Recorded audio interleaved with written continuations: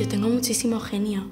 Mucho, mucho. O sea, cuando, cuando cojo confianza ya se ve. Cuando me enfado, me enfado.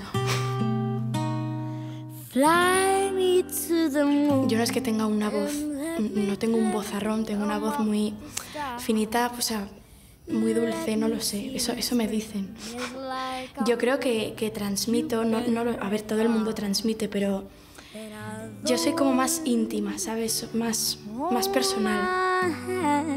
Quiero aprender, nunca he dado clases de, de, canto, o sea, quiero, tengo muchísimas ganas de dedicarme a esto yo no me voy a rendir porque al fin y al cabo tengo 18 años, me queda toda la vida por delante, ¿no? Entonces yo voy a seguir intentándolo, sea cuando sea y sea por el, por el medio que sea.